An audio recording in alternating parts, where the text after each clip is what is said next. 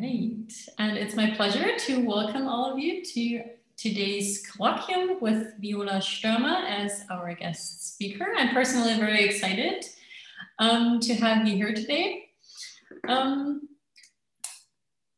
Viola uh, actually uh, is originally from Germany, although she's right now uh, located in the US. She received her PhD from the Max Planck Institute from Human Development and the Humboldt University in Berlin.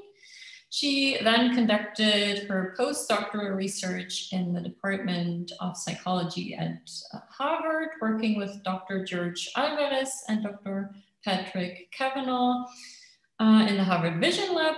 And before coming to Dartmouth College, where she currently heads the Perception, Attention, and Memory Laboratory, she was an assistant professor at UC San Diego.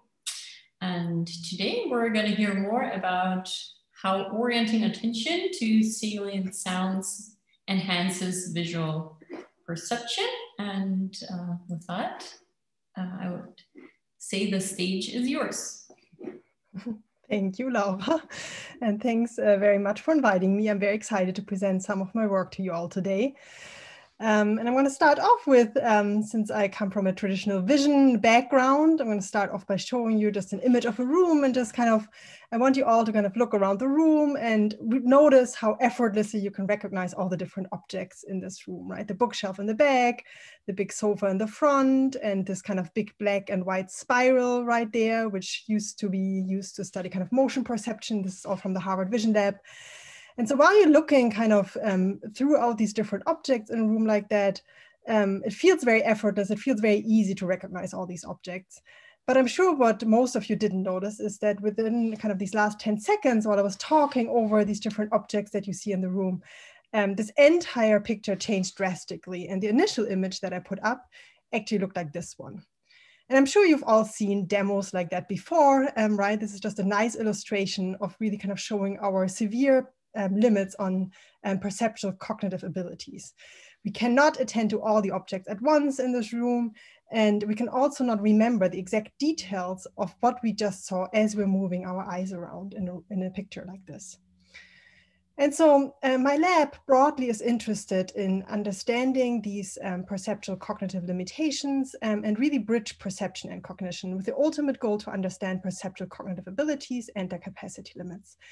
And as um, Laura already just said, my, my lab focused kind of on three aspects, perception, attention, and um, working memory.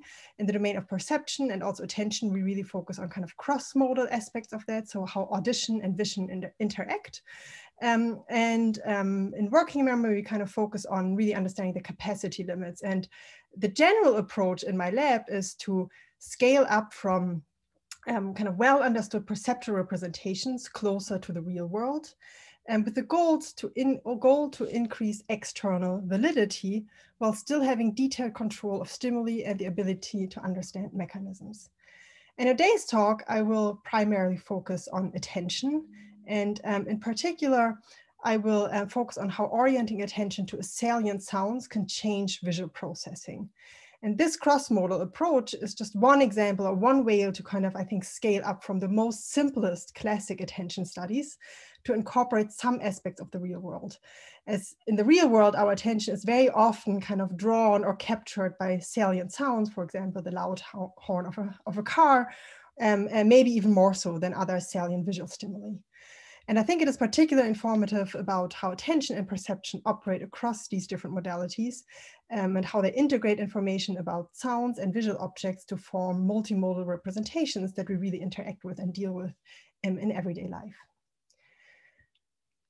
Um, and before I get all the way to kind of cross-modal interactions and the neural mechanisms of these, I will be starting by providing kind of some background how this research program started um, about 10 years ago, a little longer already. Um, and really it started with a very fundamental question um, that um, has been of debate of over 100 years in psychology and kind of philosophy more broadly, which is this question of whether attention alters appearance. And so we all know that attention improves perceptual processing, right? That we're fast at responding to attended stimuli than unattended stimuli. Um, but one uh, question that was largely unanswered was whether attention can actually alter the appearance or our subjective expressions of the world around us. Um, and this has been a much more controversial question. And um, this goes back, as I just said, kind of to the earliest days of psychology. So for example, William James proposed that attended objects appear more intense than they actually appear in the real world, versus Georg Fechner, for example, suggested that attended objects appear truthful, so that essentially attending to an object makes it appear like it exists in the real world. So what does this even mean, right? These two points. Let's take a very simple visual object here, two of these Gabor patches that we like to use in vision studies because visual cortex responds to them really well. So it's just these graded stimuli where we can control the actual contrast really, really well. And so here are two objects with exact same contrast. Fechner would have said, okay, once we kind of start attending to that object, it should appear to us, we should have the subjective um, impression of an object that really matches how it exists in the physical world, essentially. While William James suggested once we start attending to that object, it actually appears higher contrast um, than it actually is. So how can we test this in an experiment? Very briefly, I'm not going to go into a lot of detail here with this task, but um, we designed a task where we asked participants to judge the orientation of the higher contrast um, patch. We always showed two patches at the same time in different orientations, one or, or um, oriented horizontally, the other one vertically. Um, and then um, prior to these patches, we oriented attention using a salient sound. And so we used a sound in this particular task to avoid kind of low level interactions between visual cues and this visual patch, um, just to make sure that what we're actually looking at is attention effects and not some low level interaction, because you might imagine a brief kind of peripheral visual stimulus at one location is actually gonna kind of prime visual cortex and then maybe enhance processing of these little patches and make them appear higher contrast, but not due to an attentional mechanism, but possibly due to kind of low level sensory interactions. And so we use these sounds um, that appeared on the left and the right, um, kind of external speakers from external speakers, and the sounds were non-predictive, but the idea was still that they would capture attention either to the left or right side of space. The sounds are really salient. I'm gonna play you one example so you get an idea. It's just kind of these brief noise bursts that we're presenting. I don't know if you all heard that. I'm going to turn it up next time for the next example, but it's basically just this psht kind of um, brief, brief attention capturing um, sound. And so across the experiment, we varied the contrast of one of the patches from really high contrast 78% all the way to 6% contrast, but all super threshold, and match that always with what we call like the standard patch. So one contrast was always fixed. And so that way we can actually um, kind of measure a psychometric curve and see whether participants are shifted to say, to judge one, one patch as higher contrast when it appears at the same or the different location as the sound. And broadly, what we found was that participants judged the contrast at the sound's location higher contrast than the exact same um, patch at the uncued or at the location where the sound did not appear. Um, and nicely now in this design, as you can see here, we do have trials where the two patches are exactly matched in contrast. So they're both 22% contrast, so exactly the same um, contrast entering visual cortex, cortex essentially. And we can just focus on these trials to look at the neural response that's elicited by these sounds and by using EEG. And what we find was what we found was that early visual processing, in particular the visual P1 component, for those of you who are familiar with this, was enhanced for the patch at the sounds location. And so I just want to point out here that um, the only difference, right, between these two waveforms that I'm showing here which you also don't have to pay attention to. But the only difference is whether there was a sound at the, at the particular location or not. It's exactly the same contrast entering basically left and right visual cortex, but on, at one particular location, there's either a sound preceded right beforehand or not. And so this suggests that indeed um, cross-modal attention can enhance visual processing and it does so at a very early stage. So kind of within that first feed forward wave of visual processing.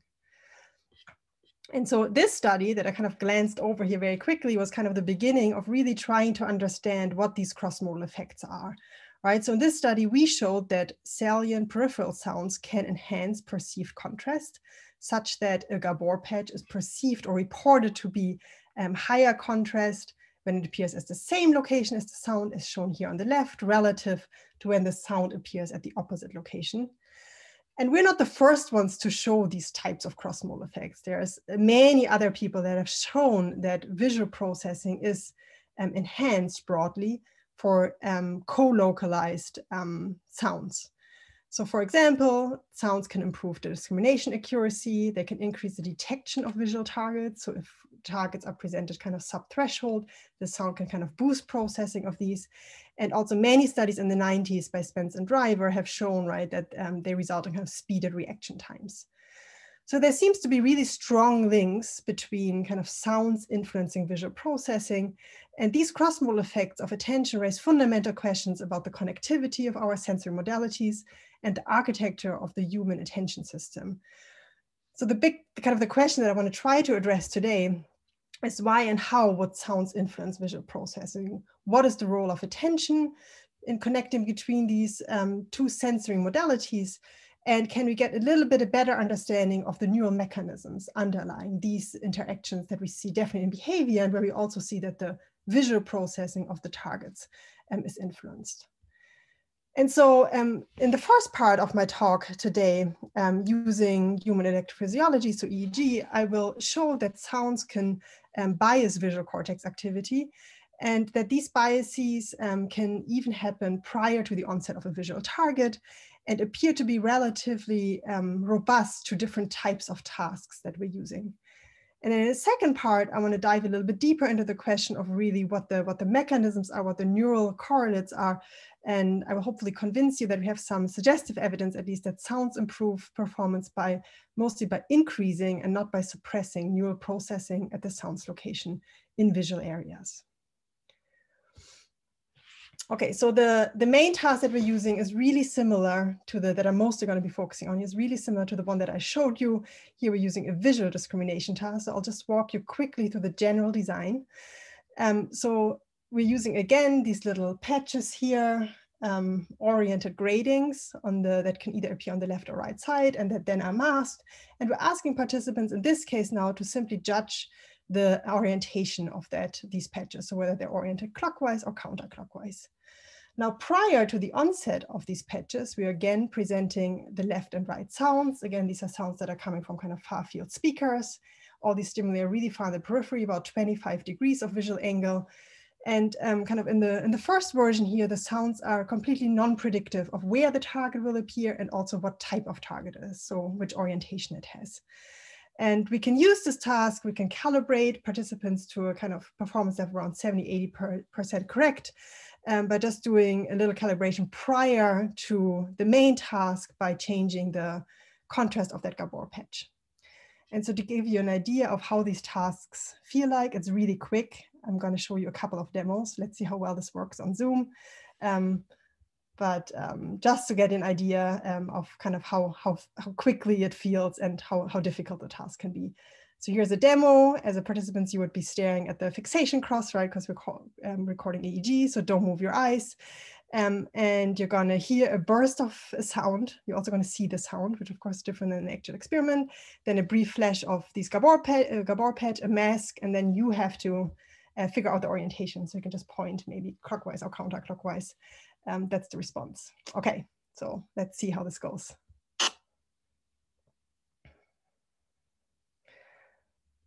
So I don't know how well this worked. This was counterclockwise, so kind of like leftward. You can do one more demo. Same task. Okay, so it's all really quick. Um, this was again um, counterclockwise. And so these were two examples of what we would call the first one, a valid trial, so where the sound appears at the same location as these Gabor patches. And the second one was an invalid trial. So the sound, of course, we don't have like the spatial resolution here to actually hear the sounds, but that's why I showed the sound appeared on the right side and the patch showed up on the left side. And so participants are actually told to ignore the sounds as good as they can, but they're pretty salient, so it's hard for them to ignore them. Uh, but we tell them to try to ignore them because they're not actually helpful for the task. Now, what we find um, performance-wise is that um, the sounds that are non-predictive of the targets, so just the example that I showed, do influence performance quite a bit. Um, it's a small but very reliable effect that we find um, between participants. And so here you can see I'm plotting the proportion correct in this um, orientation discrimination task for validly cued trials, so where the sound and the gabor appear at the same location on the left, and invalidly cued trials. So we find um, a difference in performance here such that the sounds are actually increasing target discriminability. Now, in another version of this task, um, we asked the same participants to do this exact same task, but in that case, we're actually making the sounds predictive of the target location to kind of see, it's basically a hybrid version of kind of a voluntary attention task and an involuntary attention task. So here we are telling participants, okay, the sounds will actually predict the target location with 80% accuracy. So try to kind of orient your attention to where the sound is. And to make sure that participants have enough time to do that, we lengthen the interval between the sound and the target. So they actually almost have like almost a second to kind of keep attention there. So the idea is the sound is going to grab attention kind of automatically, but then participant can use that sound to perform better in this task.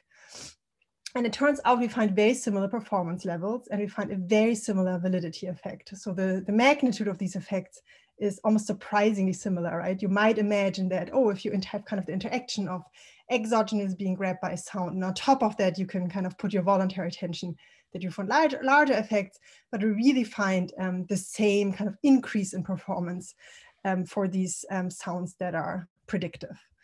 So overall, in this task, we find that participants are more accurate for co-localized targets, regardless of whether these sounds are predictable or not. And so um, now we want to ask the question of how these sounds um, are actually influencing target performance. And so what we're going to do is look at whether the sounds themselves have an influence on visual cortical processing prior to the visual targets. And so this question is building on a lot of work from other spatial attention studies, in particular voluntary or endogenous attention studies that have found kind of pre-target baseline shifts. Shifts. So if you ask participants to kind of shift attention to the left and the right side, many people have found that you find increases or decreases in neural activity even prior to the onset of the target. And so this has been very well studied in endogenous attention. So here now we want to see whether these kind of exogenous sound cues also elicit some similar pre-target biasing and anticipation of a visual stimulus. And so we can first look at this in our, what I'm going to call hybrid attention tasks. So where the sounds are actually spatially predictive, um, where we have our long SOA. So here I'm going to now be plotting the event-related potentials um, over actually parietal occipital cortex.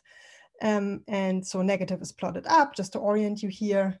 And we have um, our time with the cue onset, so the sound onset at zero milliseconds. We're plotting all the way out to about almost 900 milliseconds. This is all when there's no visual target yet, right? But we're looking over visual cortex. And I'm going to be separately plotting the ERP waveforms um, for the hemisphere contralateral to the sound. So the opposite side is where the sound appeared, so sound on the left, um, right he hemispheric activity, and ipsilateral to the sound. So when the sound is present on the left, and I'm going to be plotting um, the left visual cortex activity um, in blue. So I'm collapsing here across left and right side and left and right hemisphere. And um, what we find is um, kind of funny looking ERP waveform maybe because we're looking at an auditory evoked potential over visual cortex. So just to, to orient you here, that's why we don't see a like standard N1 component that you would maybe expect if you were looking over auditory cortex. Um, but we find that the waveforms largely overlap for the two sides up until about 240-ish milliseconds. And then we find that the contralateral waveform becomes more positive relative to the ipsilateral waveform. And this is kind of a long lasting um, positivity, positive deflection about almost 200 milliseconds um, that is really largely um, distributed over occipital parietal cortex. So here I'm plotting now the topographical map, contralateral minus ipsilateral. And I'm just kind of leaving the left side here um, blank and just project that difference on the right side of the scalp. And you can see in this kind of predefined time window, um, we see very clearly an occipital um, focus of this activity, really suggesting that this is something over visual cortex. And so this um, suggests, right, that the sound itself, the spatially predictive sound here actually biases visual cortex activity prior to the onset of a target.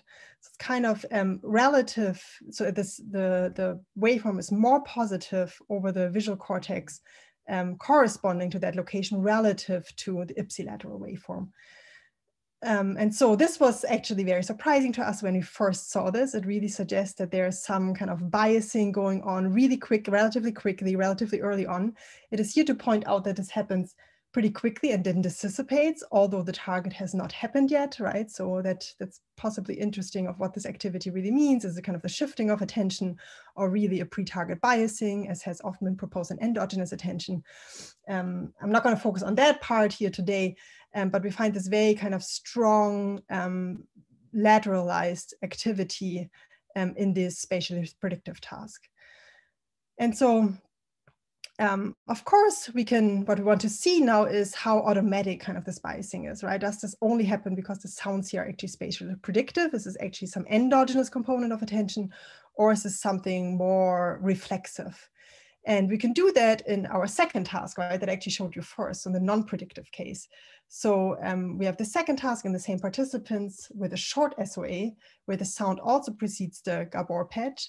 And um, of course, it's a little tricky here in this task to actually look at the auditory evoked potential on the trials that are behavior relevant because the target appears 60 milliseconds after the um, sound. So of course it would be kind of overlapping in our waveform. So what we're doing instead, we're actually inserting these half of the trials where we just don't present any target stimulus and the participants doesn't know which one is which um, trial. So they're all randomly intermixed but we can use this half of the trials where there's no visual target presented to actually look at what the sound itself is doing to visual cortical activity.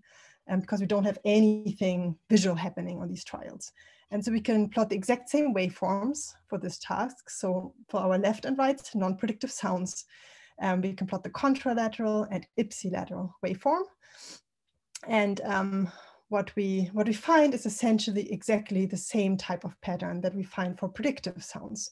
So around 200 milliseconds, the contralateral waveform becomes more positive relative to the ipsilateral waveform with regards to the sound's location. Um, we find the same type of topographical distribution over parietal occipital cortex, again suggesting that these peripheral sounds that we think capture attention to the left and the right side elicit um, activity over occipital cortex, probably a mixture of parietal and visual activity, and kind of bias prior to the stimulus, or even in this case, an absence of a visual stimulus, activity over visual areas. And so um, I just didn't, didn't point this out, but we, for now, we're just going to term this component the auditory contralateral occipital positivity, just to describe basically what we're seeing, right? It's elicited by auditory stimuli and it's contralateral positivity over occipital lobe. So in short, the ACOP. I'm going to kind of use that throughout the talk, just so you know which one I'm talking about. So that's really the difference between contra and ipsilateral waveform. Okay, so where, where are we so far? We've, we've found that sounds can activate contralateral cortex activity in spatially specific manner, right? Such that when you hear a left sound, um, that actually elicits activity over right visual cortex relative to ipsilateral. Um, and um, secondly, we've seen that this activity starts at around 240 milliseconds or so post-sound onset, regardless of the predictability of those sounds. And um, at this point, our interpretation is essentially that possibly these sounds are essentially kind of like prepping visual cortex, right? Or kind of sending attention hotspots back to visual cortex to kind of prepare visual cortex to be ready to do this really difficult cross-modal uh, discrimination task, right? To just like kind of be ready to process these stimuli really quickly and accurately. Because in all of these tasks that I've shown you, there's always visual targets present at least on half of the trials, right? If not more, in most cases, actually all of the trials. And so one hypothesis is that um, these um, sound-induced modulations only happen when participants are in this cross-modal context, right? So only when the visual targets are actually expected. And to test how broad the influences of sounds on vision are, in another task, we actually changed the context, made a really small change essentially, but instead of showing Gabor patches at the end of the trial, so visual stimuli, we changed it to auditory targets. So in this case, it's a completely auditory task um, participants still a difficult discrimination task where they have to basically pick one of the, the high or the low pitch tone of two targets that are presented from the left and the right side. And so now, other than that, the task is essentially the same. And so we can see whether we find also these sound-induced modulations over visual areas in a task that's completely auditory, where participants at no point see a visual stimulus. Um, and this really addresses the question whether sounds only affect vision when the brain is kind of expecting visual inputs, right? Or whether this is an effect that extends to other types of tasks and expectancies. And so I'm going to show you the exact same type of plot that I've shown you before. And um, you'll see that we find exact same component as we've seen before. So at around 240 milliseconds, we find that even in this completely auditory task, um, the contralateral waveform becomes more positive uh, starting at around 240 milliseconds. Um, so same, similar time course, similar type of activity um, that we find even when participants never expecting a target. And so this really points to very strong links between kind of the, the auditory system or spatial processing in the auditory system and the visual system, we think. I'm just going to show you one more version of this um, because in this, this task, uh, the sounds, the target sounds, they're still um, kind of spatial because they appear from the left and the right side. And the irrelevant sound is actually in some way um, predictable of them, at least in terms of time, right? Because we always have like two thirds of the trial have this fixed SOA, where it's always presented um, about 150 milliseconds prior to the tones. And so in the last version of this task, um, we just present essentially um, a random stream of sounds to participants. So again, our left and right peripheral sounds that are kind of attention grabbing, but participants are supposed to ignore them. And just on about 50% of the trials, we present a central target tone that's very distinct and all participants are doing is press a button whenever they hear the central target tone. So they are listening to the sounds overall, but these left and right sounds burns, bursts, they're ignoring as good as they can, they're not responding to them. And we're now taking away this temporal predictability by just having a random stream. So it can be left sound, right sound, and target tone, or, or in a different order. And we kind of vary the timing across them. And in this task, we find again the same component, this ACOP component. So this is kind of the most extreme case showing that even in a random stream of sounds, we find that these peripheral noise bursts actually elicit visual cortex activity in a spatially specific way, again, following the exact same time course. And so now I've shown you that across many different experiments, we find that these salient sounds can boost contralateral relative to ipsilateral visual activity and that that seems to be related our cross-modal versions of the task to um, visual performance, such that um, that we find actually those participants that have this larger ACOP amplitude also tend to show the better discrimination performance. And so broadly, uh, what this suggests is that there's these very robust um, ACOP component that we find that seems to exist across different types of task contexts with a similar temporal and spatial profile. So it almost appears to be relatively automatic or reflexive and um, pretty fixed essentially, um, which again, I think raises interesting questions about the connectivity of our sensory modalities, right? So, so what are actually, how, how is this actually implemented neurally? We do know that there are direct connections between kind of early auditory cortex and early visual cortex, but given the relatively late latency of this component, um, it's probably not these direct connections that are actually producing this effect, but it's probably some indirect pathway, right? I think we kind of infer from this like relatively late latency that there's probably other brain areas involved. And we do see some parietal activity as well. Um, and so um, what, what we think is that, especially given the fact that these effects are very spatially specific, is that spatial attention does play a critical role here um, right? I don't know if this is like actually the parietal lobe, just kind of like pointed this here, but since we see parietal activity probably plays a critical role.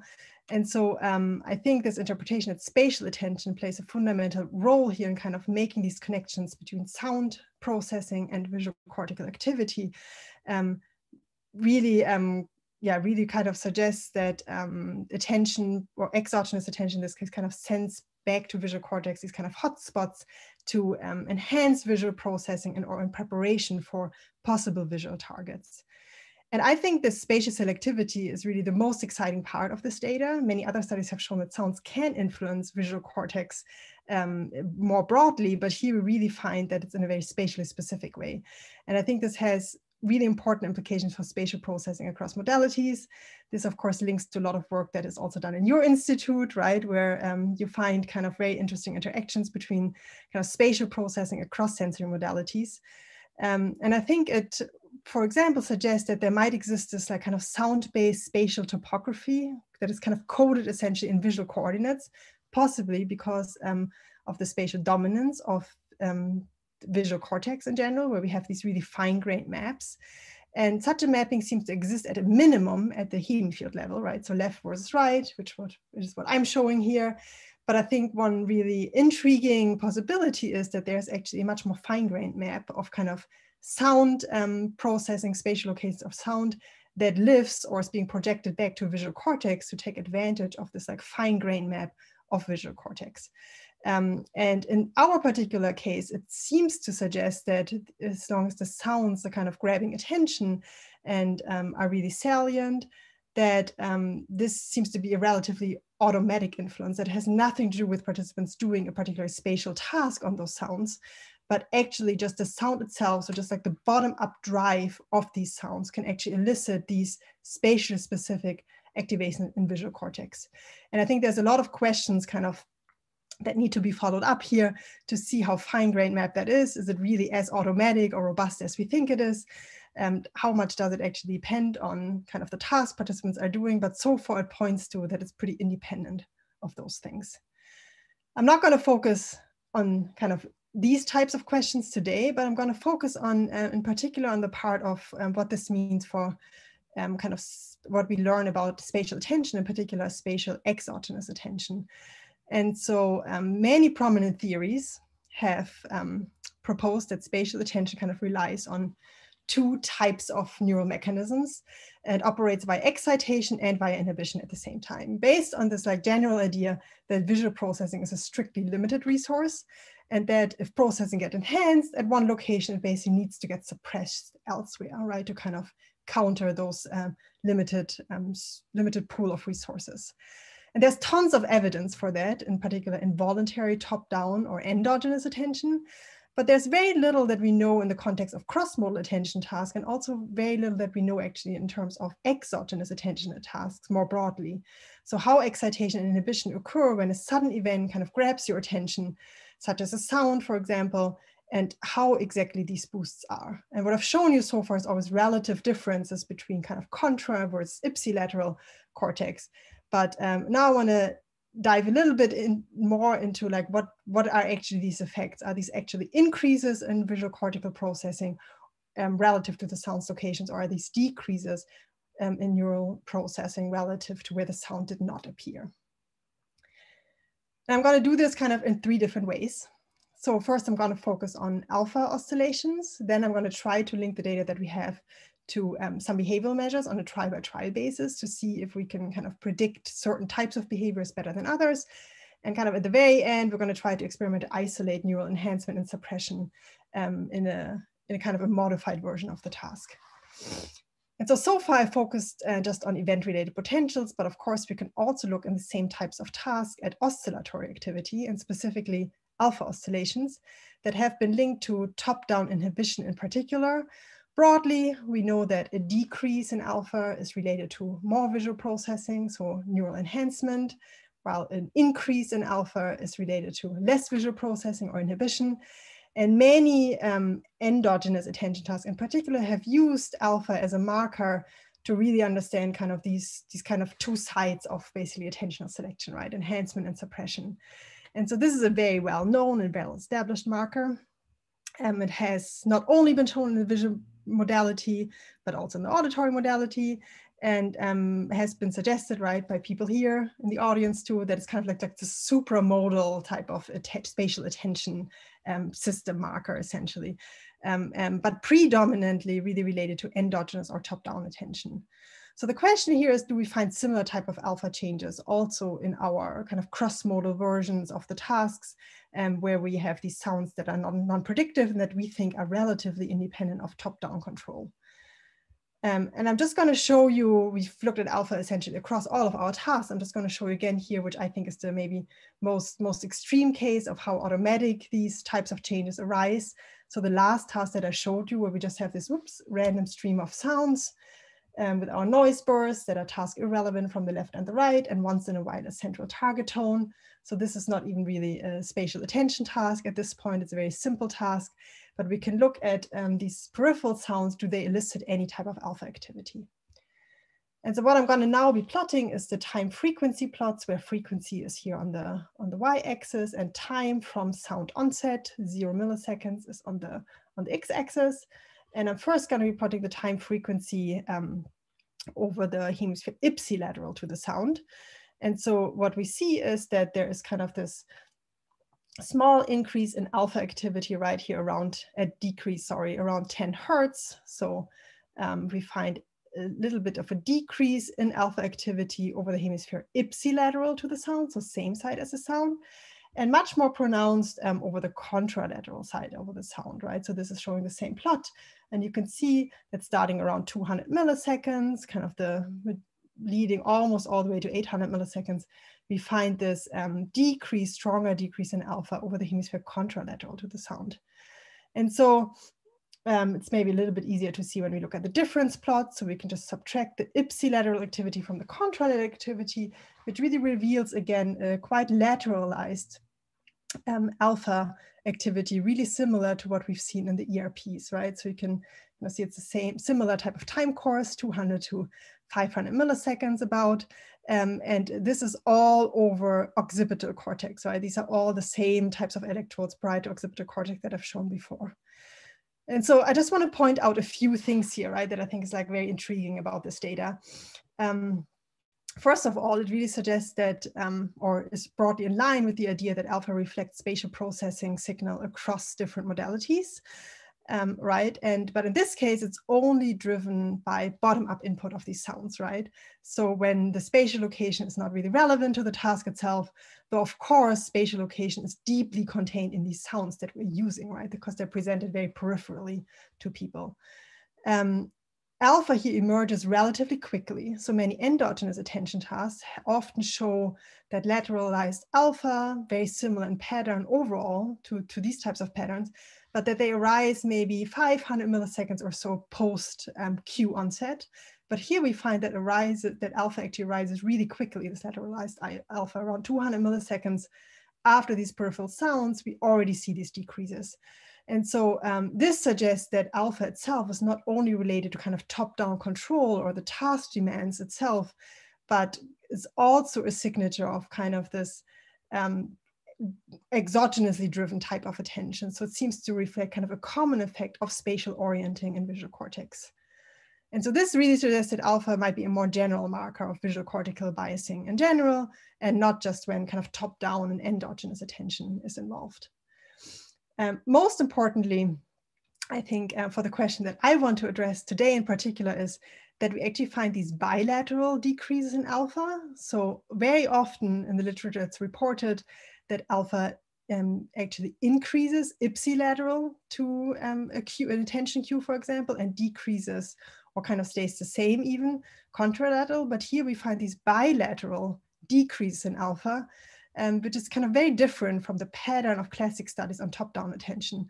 And this might suggest, or I think is a first hint that possibly these sounds, they're not suppressing any activity over the cortex ipsilateral to the sound, but they just kind of result in an overall enhancement of neural activity in visual cortex, then that enhancement is biased, so it's even stronger over contralateral hemisphere relative to the ipsilateral hemisphere. So I think this is broadly consistent with the idea that um, we're mostly dealing with a visual enhancement here that's triggered by the sounds with no clear suppression. If we use alpha, at least as our marker or increases in alpha as a marker of suppression, neural suppression, that we don't really see evidence for here um, when we kind of look separately for ipsilateral and contralateral um, activity. Now, secondly, I want to try to link these ACOP and alpha changes more directly to behavior. And so we can do this by using a similar task that I've shown you before by just adding a little trick. So in this case, participants um, are doing a target, a, a, letter discrimination task instead of these Gabor patches. So just indicating whether they see a T on an L. That's masked again, so it's a difficult task. And the sound is pre preceding either at the same side or opposite side as the target, just as before. And all we're changing now, we're kind of extending the time a little bit between the sound onset and the target. So we have around 300 milliseconds to basically look at our neural measures, the ACOP and alpha, prior to the onset of the target. And so that will allow us to split up trials depending on whether participants got it correct or incorrect. And so now let me just walk you quickly through kind of the predictions of what we would predict um, our two hypotheses of whether we find enhancement or suppression or maybe a mixture of the two. So the idea here is that if the ACOP, I'm going to focus on the ACOP first, but for alpha it's the same logic, um, reflects primarily enhancement, we would expect to find a larger ACOP, so more positive in the hemisphere contralateral to the cue, preceding correct and incorrect discrimination performance, um, but not necessarily a difference for these invalid trials. Now, conversely, if the ACOP reflected suppression, we would expect to find a larger ACOP, so more positive in the hemisphere contralateral to the cue, preceding incorrect than correct discriminations on invalidly cued um, targets. And so the idea here is basically, or the logic here is that this neural modulation, so in this case, the ACOP, predicts performance either just for validly cued trials because it affects processing of information at the cued locations, at the location of the sound, or it may predict performance just for invalidly cued trials because it reflects processing of information at the uncued location. And so obviously there can be a mixture of both of them, right? That we actually find predictions uh, in both directions, but that's kind of the, the logic of, um, of our data analysis here. And so what we find is uh, for the ACOP is um, data consistent with the idea that this reflects enhancement, right? So we find um, that the ACOP, the magnitude of the ACOP, which is now plotted here, so that's the contralateral minus ipsilateral difference, predicts performance for validly cued trials. So we find a larger ACOP when participants get this correct compared to incorrect, um, but we do not find any difference between the invalid trials, suggesting that the ACOP is actually kind of like marking, essentially processing at the validly cued location. And so this um, implies then that the ACOP does not necessarily reflect suppression at the uncued location. And so we can make the, do the exact same analysis for our alpha measure, same logic. I hope people are following this logic.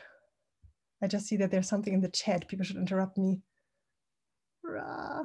Okay, maybe I'll, I'll come to the question later. I think it's like an old question. Okay.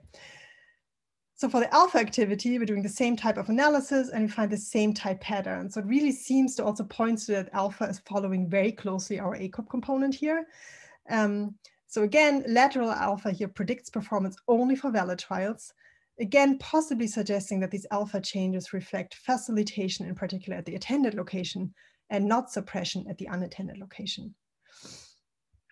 So this is kind of our second piece of evidence that we find these very selective type of predictions for performance um, in for ACOP and alpha, which is broadly consistent with the idea of visual enhancement and not suppression at the unattended location. Now I'm going to show you one final experiment, which is just again one tweak of kind of the same paradigm, where we're trying to experiment and isolate the neural enhancement and suppression, um, not by looking directly at performance, but by introducing something like kind of a baseline condition. And so we're going back to our Gabor patch task, right? So same, same logic as before. We have our left and right sounds, but now we're also introducing a third sound, a central sound that we're trying to, that we match as good as we can in kind of low level um, properties. So same sound, same amplitude of the sound, um, but that sound appears in the center. And so the idea is um, that it should kind of elicit the same type of, of course, um, auditory activity, but also the same type of alertness and temporal predictability compared to the left and right sounds. And the only difference between the left and the right versus the central sound is really that the central sound essentially does not elicit a spatial shift of attention. And we have our short SOA trials that we can use to look at behavior, but we also have trials where we have a longer SOA or no target at all that we can use primarily for our EEG analysis. And so here, um, the idea is that we find our ACOP component, right? That's just the contra versus ipsilateral difference in kind of amplitude of, of the waveforms.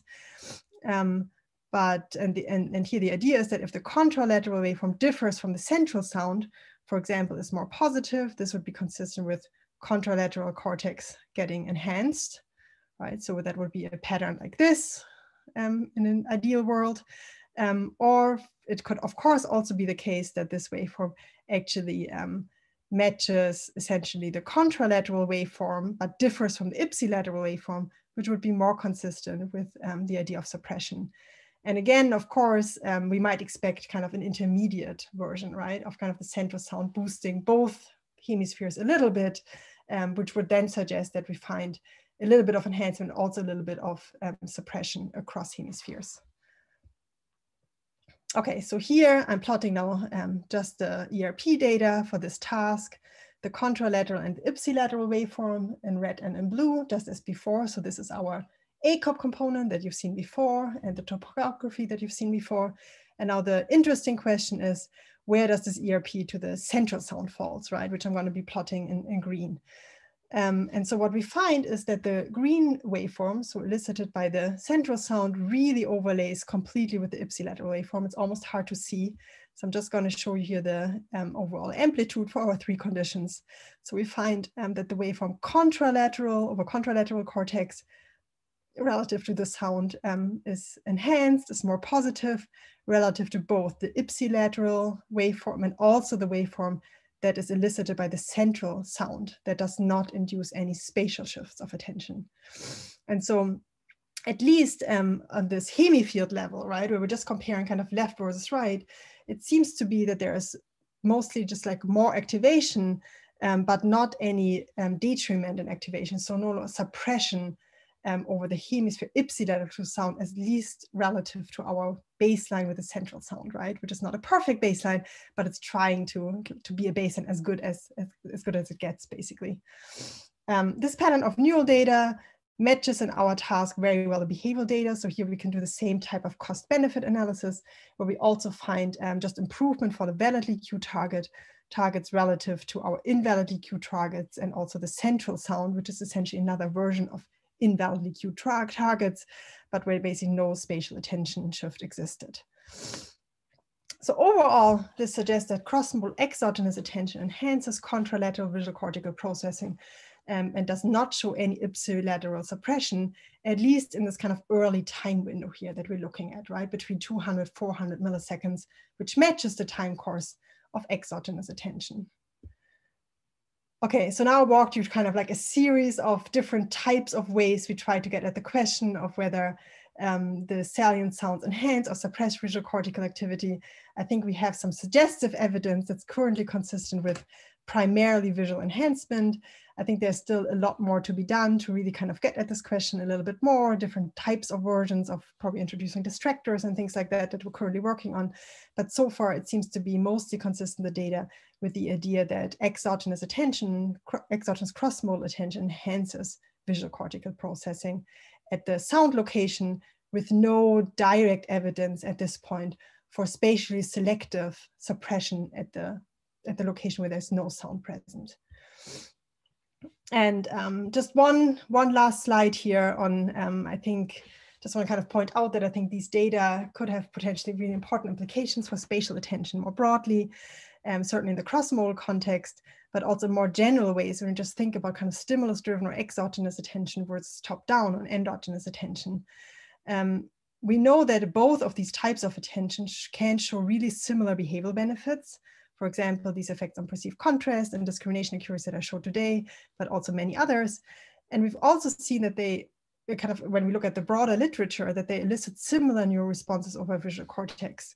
And I'm just going to point you to, to this paper by my grad student, Jonathan Keefe, that just came out, um, where he's really directly comparing these types of measures, ACOP and alpha oscillations, in an endogenous and exogenous attention task. And we find really similar types of effects of um, kind of attention on visual cortical processing, though they're all shifted in time as you would expect. So exogenous attention kind of elicits these changes really early on, like I've shown today in the talk. Um, and endogenous attention shows really similar type of patterns, but kind of like shifted 300 milliseconds in time, as many other people have shown already. Um, so it seems to be um, the case that maybe these two types of attention are not as different as often kind of proposed in the literature. But I think one potentially um, difference between kind of the neural mechanisms of these two is that um, stimulus-driven exogenous attention, at least in the cross-modal context, is um, primarily kind of enhancing visual cortical processing at the attended location with no signs of suppression, while top-down endogenous attention possibly involves both enhancement and suppression. And I think this could be deeply related to kind of the time course of these different um, types of attention, right? That just takes a little longer. Endogenous attention is usually a little bit more sluggish. So maybe that can then involve this inhibitory component. So I think there's still lots of work to be done to kind of test this, right? I put question marks here. This is speculation at this point. Um, but I think um, this, this could potentially suggest that there's really a fundamental difference in how each attentional mode supports target selection exogenous attention possibly mostly via enhancement in early cortical pathways at least, and endogenous attention through both enhancement at the attended location and also suppression of unattended locations. Okay, I'll stop here. It's just a quick summary that I maybe don't have to go to so that there's a little bit of time for questions. I'm realizing I'm running almost late here, sorry. Um, but hopefully I've convinced you that there's um, very robust effects broadly on sounds on visual perception that can influence visual performance, but also visual cortical processing across a variety of tasks. I want to thank all the co-authors on the work that I presented today, in particular, again, pointing out Jonathan Keefe, my graduate student and an undergrad in the lab, Emilia um, who uh, ran a lot of these experiments, um, my whole lab at Dartmouth and at UCSD, and I thank you all for listening. Thank you. Very interesting data and great talk. Um, and sorry for the confusion with the, the question in the chat. Maybe I should have uh, said earlier that we're just going to do that in the very end. Um, okay, all right. It. It was probably there for, for a while already, but yeah.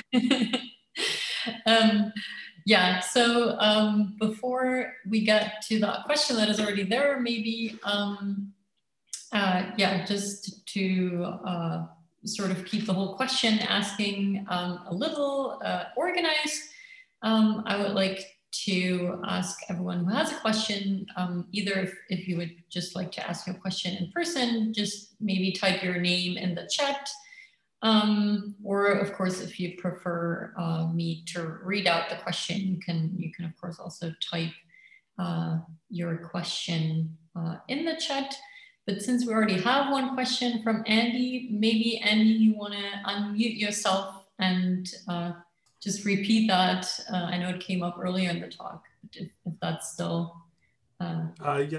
So yeah, thanks, Laura. Um, and Viola, this this was a, a, really fantastic talk, and and my apologies for um, interrupting. I, I didn't. Oh, no worries. Yeah. I actually think it's kind of um, nice to be interrupted on Zoom sometimes, but yeah, uh, yeah. I mean, it was it was a fantastic talk, and I and I I love the um, the results. Uh, my my every time I found myself asking a question or having a question, it was usually answered on the next slide. So I think this is an example of that. I was when you were first presenting the first ACOP results, I was um, wondering whether the the trials on which you were measuring the ACOP with the sounds by themselves, either with the long uh, SOA or with no visual target presented, were on the same blocks as those with yeah. visual targets, but but they were right. They were exactly. So it's all randomly intermixed. The participant doesn't know um, what trial is gonna appear or not. Yeah. So hopefully and, we're and, not. Yeah. So the, the ACOP is too quick, I think, to explain that. Like, oh, they they noticed that the that the target is not there, and we have versions of this task right where we have the long SOA to kind of avoid some that the ACOP is related to some anticipatory oh, or like surprise response. Oh, there was no target, but usually there is. So that's why we, we actually half and half right? trials yeah, so. like long SOA trials, so the target still appears. So it's really um, temporally also not predictive. The sounds. Yeah. Cool. I have loads more questions, but I, I want to give other people a chance to ask as well. okay, somebody else first. Okay, maybe I'm going to jump in because because Lewis just commented he's going to wait for a woman to ask a question. we, we actually had a discussion about that earlier that if, if women if women a, a woman asks a question first, then other women are more likely to also ask questions. So yeah. I'm going to try to boost that now a little bit. um, you you already um, mentioned that you're playing around with also introducing distractors.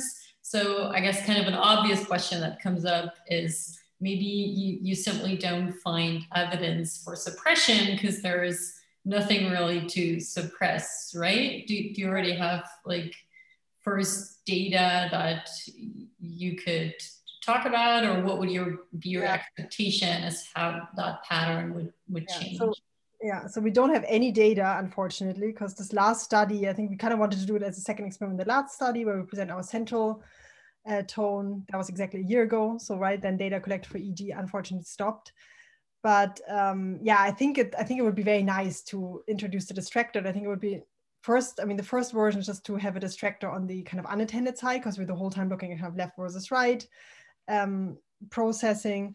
My hunt is actually when we present distractors on the on the opposite side that we find the exact same effect, that there's no clear suppression, even if participants are in this context, because I really think it, it happens so quickly and it's like on the other side of the of the hemifield that I think it's it's basically happening too fast in exogenous tension for even suppression to kick in. Kick in. I guess my model of suppression is that it takes like first enhancement and then maybe it kind of falls out, kind of secondary of the enhancement. And there's some papers by Green and McDonald kind of suggesting that the suppressive side of alpha, if you just kind of go with the alpha interpretation of increases meaning suppression, that they actually take a little longer to kick in. So my expectation there is probably that we find something similar, but I totally think it could change once we start playing with distractors within the same hemi field to kind of at more nearby locations. Mm-hmm. There's also these models of attention, right, that you have like largely independent resources for each type of hemi field that I think here could kind of not show us a suppression left versus right, but maybe within the hemi field, once you like start introducing distractors kind of within the same spatial map, mm-hmm. right? So mm-hmm. in the same hemi field, that then maybe you find evidence for suppression. Mm-hmm. And so we're currently doing that just behaviorally with some online studies where we just try to introduce neutral cues and kind of have distractors around the target. But it's a little too early to tell whether we find mm-hmm. differences there. Um, yeah, the, doing this online, it turns out it's much, much harder. We need participants and uh, calibration and everything is hard but yeah, so we're kind of starting to ask these questions. And this is, I think, generally my expectations are that, that I think with a like more kind of distractors within the same hemi field, we might find suppression essentially. Cool, very interesting. Thank you. Um, then I'm just going to pass the word to Daniel. Hi, and uh, thank you for the excellent talk. Um, so when I first uh, saw those data, uh, also when I read the paper, um, it reminded me kind um, of um, of an effect that we also usually observe in auditory search. Mm -hmm. So um, you're surely uh, familiar with this uh, original work by um, Gamble and Luck, and was uh, yeah with the N2AC and so on.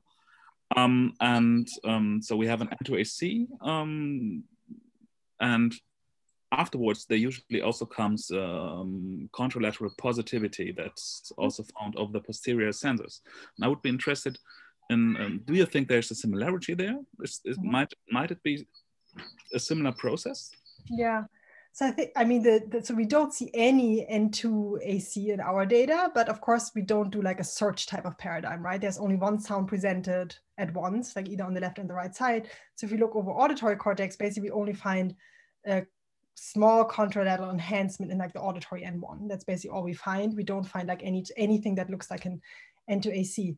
But I know, yeah, this like kind of what, what follows the N2AC. I actually remember having this conversation with Marissa Gamble many, many years ago at a conference where we were trying to compare the topographical maps and the time course of this later effect and this ACOP that we're finding. And our conclusion was that it's something different. But I would actually have to go back to um, to really, I think, looking in a more fine-grained way. And I think, and it, does it always appear? Do you always find in all tasks, or is it kind of depending on what participants are doing? So we, we found it only in uh, in auditory search. Um, I think there's yeah. nothing similar in visual search really, and we haven't done it in a cross-modal setting yet. Um, well, actually, if if I may interrupt you there, it also shows up in the so the the few pilot um, experiments that we did with the audio visual search. So there it shows up as well. So that's at least a multimodal setting, but yeah, so far it's it's been there pretty robustly in at least the auditory only um, settings. And, and you're talking about like the later wave, like not the N2AC, but kind of the later, longer. Yeah, it's it's way later. Um, yeah. Like 400 600. Yeah, exactly. So the timing was like off. I think it was like even late, much later than the ACOP, which is I think mm-hmm. one of the reasons why we thought, oh, it's something different. And but yeah, I'd be super curious to hear like when you when you see that and when when it's not. I think uh, we thought it kind of depends a little bit more on task and it's not as automatically elicited at this earlier ACOP but it seems like there might be some interesting similarities and potentially and we really haven't seen this that the that this ACOP or alpha alpha is a little different. Alpha is way more sensitive to kind of top-down controls. If we make the tone predictive, mm-hmm. alpha lasts longer. But this ACOP really just kind of appears and disappears, no matter kind of what task we give participant with the sounds. It seems like. Um, but maybe, so maybe it could be a mixture of both, right? You initially have maybe an ACOP, but then if the sounds are task relevant because they're doing visual search with them, you mm. might find like a longer lasting type of ACOP, which would be really cool. yeah, maybe this this shift in latency it might be due to the task you know it's so yeah yeah which would be really interesting things and this is an irrelevant auditory cue so it appears earlier but yeah interesting point yeah that would be really interesting we should like actually like maybe chat more and like actually compare because that would be really interesting to see like when the earlier versus the later part happens. Because we've been trying to push it later and it hasn't really worked for us. So maybe we should like look into your paradigms to see what exactly the difference could be that's driving that. That'd be cool. Hmm, okay. Thank you. Okay then uh, Louis you want to go next? Um, sure So I really enjoyed the talk. Thank you very much. Um, I have a pre-question um, and a question, and then a main question I'm really interested in.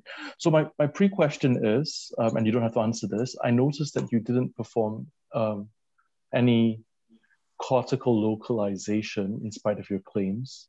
Um, was this non-analysis based on principles? I've noticed the link to uh, Steven Hillyard. So so it's perfectly reasonable if you say that you know you, you you just don't believe in you know spatial localization. Oh no, um, actually we've done we've done a bunch of spatial localization. Yeah. I guess I took it out of my talk by now oh, with okay.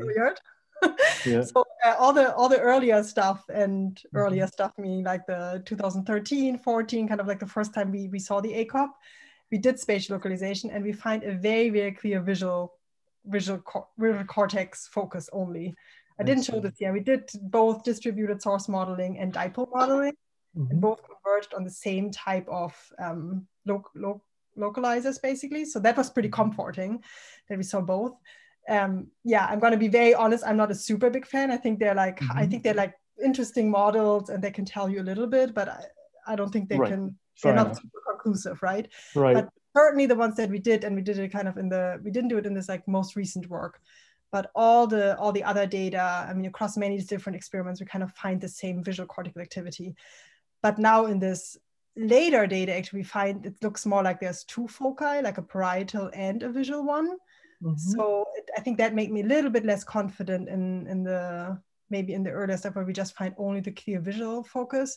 And i think there's like better ways to experimentally isolate it. So now mm-hmm. jonathan actually wants to test whether we can kind of isolate the parietal and the visual focus. Mm-hmm of this ACOP by having kind of participants already shift attention and see if we just find enhancement, if, if attention is already shifted basically to that location, or we can just kind of manipulate only the shift and trying to experimentally do that, which I think is a little bit more clean than doing uh, just the dipole modeling. But yeah. So then I do have a main question, especially yeah. in the phrasing or the words that you use, and I, I apologize if this is quite high level. Um, so we are talking about we're talking about this within the framework of attention, right? And attentional orienting. But it's not entirely clear to me, and I'm not even sure if this distinction is, this functional distinction is necessary. I'm not really certain if your experiment and your results actually speaks to attentional orienting or if it actually speaks to cross-modal processing or enhancement. And I, I kind of feel like that there ought to be a distinction from where I'm coming from, right?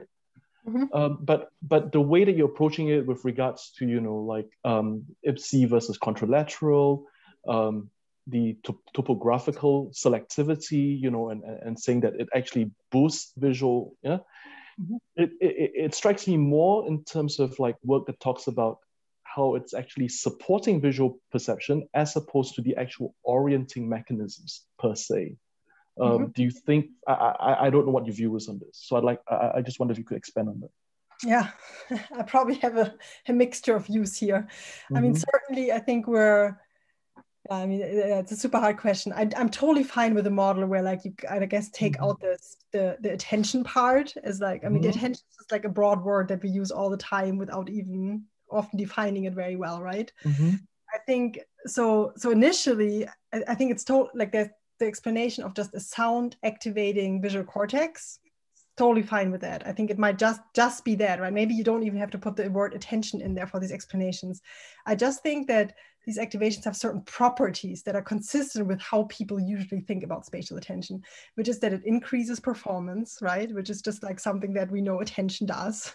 it, um, it also, um, I think what, what I kind of tried to point on is one slide, the fact that it's a relatively slow latency of these like 200 milliseconds suggests that there's other cortical regions involved, right? That I'm broadly referring to as maybe it's a spatial attention network, because we know again that like maybe, right, I'm just referring to this attention, but there has to be some essentially reformatting of the processing the sound location to send it back to visual cortex, right? And whatever that process is, I'm here just kind of like referring to as attention because I don't know exactly what it is. And we do know that there's like these direct like subcortical maps, right? Multisensory maps, but it seems a little slow to just just do that basically. So I think there's like probably some parietal regions involved, which are generally consistent with the idea of some attention network. Um, and so, and then the fact that we find alpha activity, which people have strongly associated with attention. So I think like there's just like these certain properties that match the current framework of how spatial attention, like what spatial attention does more broadly. But I don't even need, yeah, I, I would be totally fine with just like taking out the word attention and just kind of describing these properties. I think that's a totally fine, fine way to talk about this data too. It just might make sense, or sometimes helpful to try to talk about this, I think, in this framework of of attention more broadly if it shares these certain properties. Mm, um, so just to clarify my position, so I, I, have no problem with the fact that you use the term attention uh, insofar as cross-modal enhancement is, is concerned. But I feel like if we're really talking about mechanisms that underlie reorienting from central to periphery, in fact, I would feel that your findings of, of hemispheric asymmetry would not be your biggest finding, assuming that we have a modular network. But rather, we would really be getting at which neural structures per se um, support and underlie the reorienting of spatial attention. Does that make sense? So that at least in my in my in my mind, that would be the distinction, right? So I, I think that your, your your results make a lot of sense in terms of attention, but attention in terms of um, increasing the gain of mm-hmm. processing information in a given channel. Mm-hmm. But I'm not entirely certain if it speaks very much towards orienting mechanisms per se or spatial orienting mechanisms. But I don't mm-hmm. know, right? So that's that's that's how I how the orienting itself. Has, so do you mean the distinction of like what effects it has on visual cortex versus like the mechanisms that actually make us orient? I'm not the, the, the, the, mechanisms that allow you to to shift attention in space, so to speak. Yeah. Right. Yeah. That, that's fair. I think. I mean, all we're all we're really looking. I probably still use the word mechanism too often, which is just mm-hmm. like really what we're looking at is just the effects on visual processing, right? Like that. Right. That's all really what, what what we got, and it's not really the. Me- I mean, alpha is not a mechanism. I completely agree there, right? And I don't think we learn learn anything about the exact mechanisms, but we have we see that we have diff- these interesting effects on visual cortical mm-hmm. processing, right? That are maybe consistent with enhancement suppression, which you probably also shouldn't call a mechanism per se.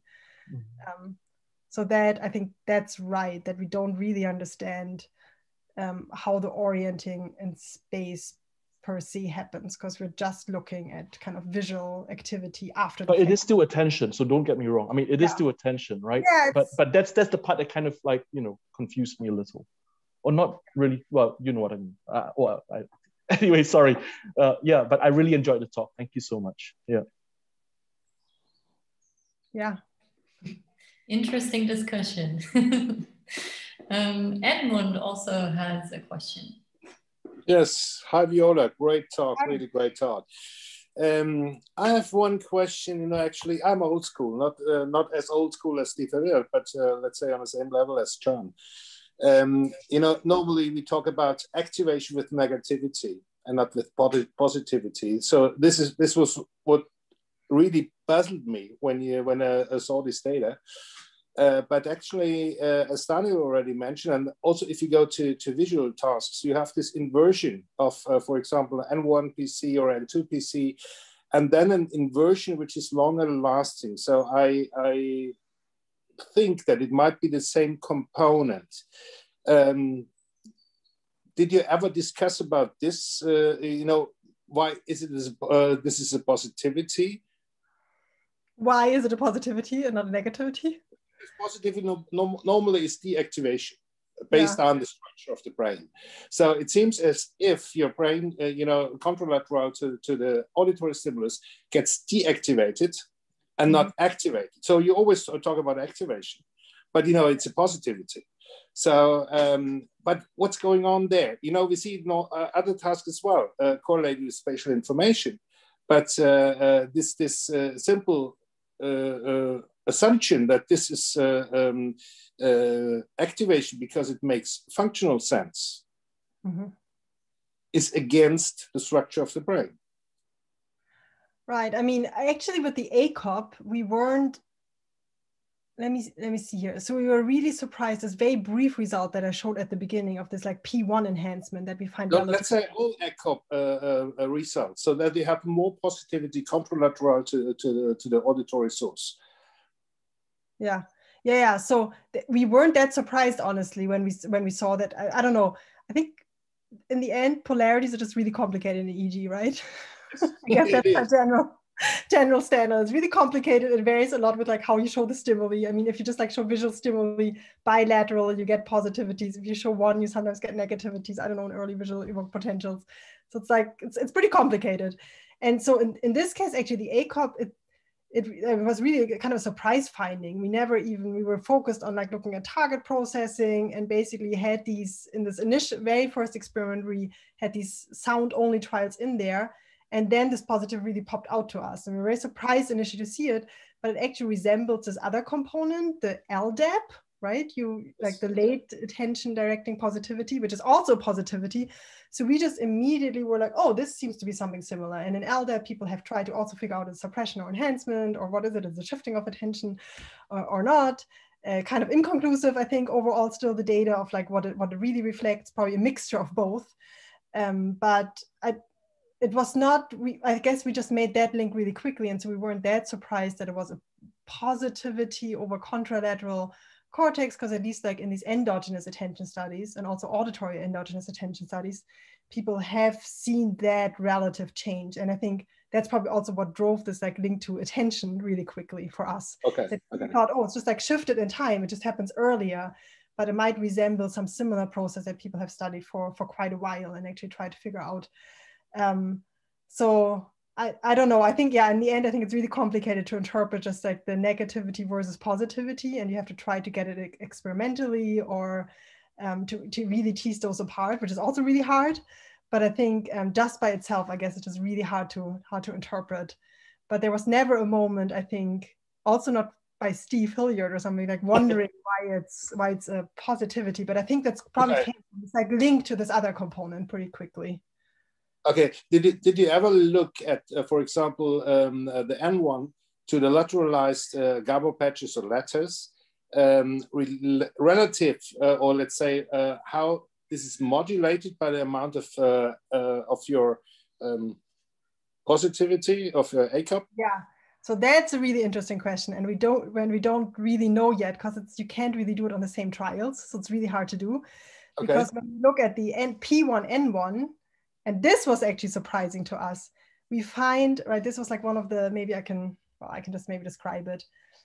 Maybe I'll try to find the slide while I'm describing it because for the when we look at the the P1 to the Gabor patch, we find also just a positivity. Pulling it up here.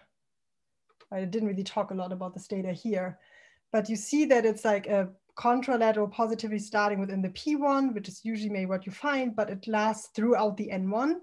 It stays more positive, and it's not like a classical N1 attention effect where you would find a larger negativity often when you show at least unilateral stimuli. And so this was really surprising to us and it might be and what we're doing here we're like kind of subtracting out the acop but of course that's assuming that the acop has the same size on every trial as our other functions. So we, so we think like this is acop free data but who knows and because it's exactly in the same time interval like the acop actually makes a lot of sense also in terms of exogenous attention um, in terms of timing which i didn't really focus on here but the acop starts 200 milliseconds about after the onset of the sound which is exactly um, when basically that visual patch hits visual cortex, right? Because we're presenting it 100 milliseconds later and it takes about 80 milliseconds to get to visual cortex.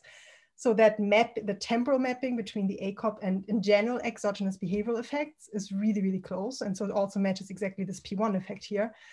And so how the ACOP exactly relates to this um, P1 effect, and this, which we see is also essentially sustained positivity, right, through P1 and N1 time interval, we have not gotten there yet because it's extremely hard because we're like it's like in the same trials right so how yeah. do you know which one you like have to subtract out the acop and then so it's really difficult to actually i think make that link but i think it would be really important because i'm this is still something that i'm like wondering how how does this actually relate on a like trial by trial basis and are we really subtracting out the entire acop here or is there still some kind of activity left um, in in this p1 n1 time interval if that makes sense Okay. But I don't have an answer. I, I can just say yes. no, no, no, no. It's just, uh, yeah.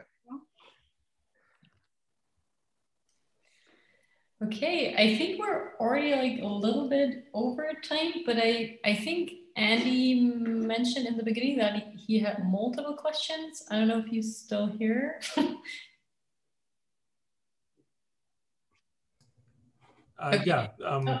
th thanks. If, if if folks are okay with me asking the question, I'm, I'm happy to. I realize I'm a guest in this particular format, so I'm, I'm I wanted to yield a bit um, to, to others. Um, so you answered one question from Lewis earlier about source localization, and I, I had a similar question with regard to the parietal component. So one thing that I was wondering throughout the talk is, you know, how do we know that this is um, a, a visual orienting of attention as opposed to a multimodal orienting of attention? Um, and you tried, you know, you, I think you did a lot of like really cool experiments to, to try to show that it was indeed, you know, visual oriented, even in the absence of a visual task. So when you had the, the purely auditory task, I was wondering if you tried something else, perhaps like, um, like putting the subjects in in complete darkness or having them close their eyes, right? So, so the visual information is completely irrelevant to, um, you know, there's no, there's not even a chance for them to, to enhance visual perception um, and, and what is does the ACOP appear in that sort of scenario? Mm-hmm. We have not done that. That would be cool to actually. Then people do have their eyes open and they're staring at a fixation cross, even our auditory tasks. Yeah. I think it would be cool to do. Of course, it's the data is going to be really alpha heavy if you just heavy, people, yeah. close their eyes for a long time, even yeah. in the auditory task, because they're sitting in a completely dark room where we really try to make sure they don't basically see the speakers or don't have any reference frames. So it's a pitch dark room in the auditory versions of the experiments. We have like kind of yeah. a, a, dark, like just basically the fixation cross, the only reference points to make sure that they're not moving their eyes, right? To get kind of clean EEG data. Um, but we never had them completely close their eyes. But even in those tasks, it's just like the data does get more noisy and that like just like more alpha overall, right? And so yeah. I think it would be pretty tricky to do. What we what I have done in collaboration is actually test whether we find the ACOP in congenitally blind people mm-hmm. with uh, Monica Gori at IIT in Italy. And so there we do find the ACOP in uh, even more pronounced, which is, I guess, I don't know, I think to some people it's surprising, to others not, depending on how you think about um, kind of reorganization of visual cortex in, in congenitally blind. Because often they find, like you find kind of activity over they're introduced yeah. by sounds, but we find the same type of like spatial specificity. So really, again, I think broadly suggesting that that part of the brain that we reference as visual cortex is involved in spatial processing um, in a kind of in this maybe reflexive type of way. But yeah, I, I think it would be a cool study to actually try to, I don't know, get people that don't have a lot of alpha or just, I don't know, like deal with it, I guess. Um, yeah. to actually make sure that they don't don't have any visual inputs during the task That'd be cool. Okay, thank you. Yeah. There is actually, um, they don't look at ACOP, but there's a study by Malte Wöstmann from Lübeck where they look at alpha lateralization in an auditory spatial attention task and they systematically compare eyes closed versus eyes open. And I think if I recall correctly, they found that the alpha lateralization increases in, in eyes close condition, but uh, I would have to look it up again. But that's, that's right. That's the only study I recall with that sort of uh, manipulation. Okay, well, uh, thank you for this very lively discussion, everyone. And thanks again to Viola for the very great talk today. Um, yeah, I think we should maybe come to a close now. and uh, yeah, let Viola enjoy the rest of her day and all of us here in Europe have a nice evening. um, we will actually be back in uh, two weeks with a talk from uh, Simon Hanslmayr. Um, so maybe we'll get to see some of you again there. And uh, yeah, with that, I would like to Thank you all for joining and goodbye. Thank you. Nice to meet you all. Thanks for organizing, Laura. Thank you for joining. Bye, thanks. Bye.